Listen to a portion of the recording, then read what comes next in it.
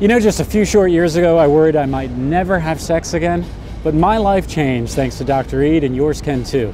When I first heard about implants, I was scared. No way, I thought. That's what we're going to look at now fears and misconceptions when it comes to implants.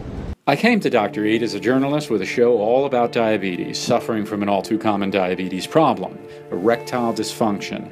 After pills and injections and more failed, I wanted my sex life back. But implants? An operation down there? Ouch! But I'm thrilled with my implants, so let's tackle some myths. Number one, it's going to kill, and the recovery will hurt. Well, first, it's a minor procedure. Nothing is removed from the penis. The procedure itself takes less than one hour. Number two, it's not going to feel natural. I'm going to feel like a robot or something your body gets adjusted to it and it's part of your body and it, it's integrated into uh, your own normal sexual activity. At three months after the penile implant, most men don't even know that it's inside of them. You have orgasms, ejaculation, you can have babies, you can go through airports. Number three, it's going to be hard to use. It may go off by itself or I'll lose the moment you have complete control of the duration and the rigidity of the erection. So there's no way that the pump could inflate by itself. There's no way that the pump will deflate by itself.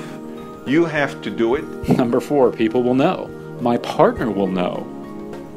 There's no visible scar. Everything is buried inside the body, inside the scrotum. You cannot see the pump. You cannot feel the pump during lovemaking. You can't feel the tubing. If you take a shower in the locker room and there are other guys around, they won't even know that you have an implant. Number five, no way I could afford it. My insurance won't cover implants. Erectile dysfunction is a medical problem. Implants were invented in 1973 and they've been covered by Medicare since 1975. And age is not a disqualifier.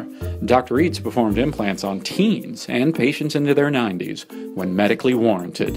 An implant is a gift for you, so you do it for yourself. It's going to impact your life, it's going to impact your partner. You're looking at part of the impact it had on my life. A baby boy. I feel whole and normal again. It's about way more than sex. I gained my sexual self-confidence back and that in turn made me more confident in all aspects of my life. It gave me a sort of joy of living again. Start living your life to the fullest again. Implants equal hope for men like me. Learn more right here